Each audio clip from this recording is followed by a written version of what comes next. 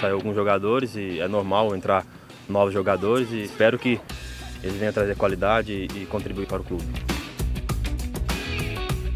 Na Liga Europa, nosso objetivo é, é entrar na, na, fase de grupo, isso é claro, né? Fazer esse mata-mata e conseguir a classificação para a fase de grupo, esse é, é, o primeiro objetivo nosso. Em termos do campeonato, é, é fazer melhor o que nós fizemos na época passada. E, igual eu falei, se vai ficar em primeiro ou segundo ou terceiro, e só o tempo dirá. Treinador já conhece os jogadores, a característica dos jogadores, nós jogadores também já estamos entrosados com, com, com, nós, com nossos companheiros, então isso fica mais fácil para fazer um plantel forte.